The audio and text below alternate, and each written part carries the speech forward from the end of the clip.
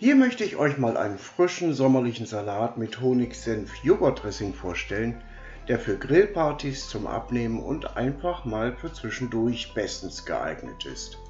Und das Schöne ist, dafür braucht es gar nicht viel. Aus diesen Zutaten macht ihr einen herrlich frischen Salat. Ich bin Kalle und ihr seid bei Guckst du mit Kalle. Herzlich willkommen. Dieser Salat auf dem Salatbuffet einer Grillparty und ihr seid die Helden.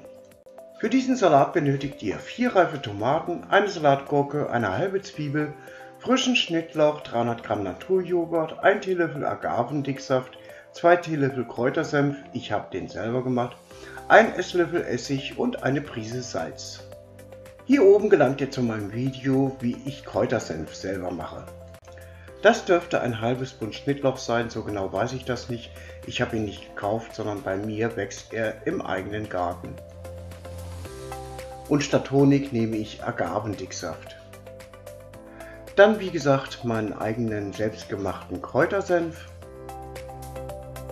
und 300 Gramm Naturjoghurt, der darf ruhig 3,5% Fett haben. Die Gurken hatte ich im Übrigen schon geschnitten und etwas gesalzen und dann in ein Sieb gegeben, damit sie abtropfen können. Jetzt sind die Tomaten dran. Als erstes den Strunk entfernen und dann schneide ich die Tomaten in relativ kleine Stücke. Das hat folgenden Grund. Wenn ihr diesen Salat auf ein Salatbuffet stellt, dann sind dort wahrscheinlich viele Salate. Und gerade bei einer Grillparty oder Party überhaupt Möchte man vielleicht mehrere Salate auf seinen Teller legen, da passt das nicht und sieht das auch nicht gut aus, wenn die Tomatenstücke zu groß sind. Die halbe Zwiebel wird dann in Würfel geschnitten und die andere Hälfte wird verpackt, kühl gelagert und für den nächsten Salat genommen.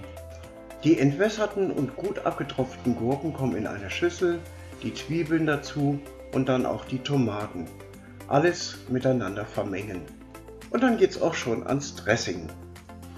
Den Joghurt in eine Schüssel geben und den Schnittlauch dazu. Dann den Agavendicksaft und den Senf unterrühren. Mit Essig und etwas Salz abschmecken.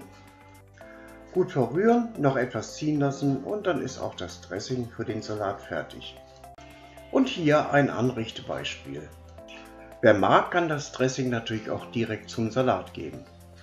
Das war's von mir. Bis hier. Tschüss, euer Kalle.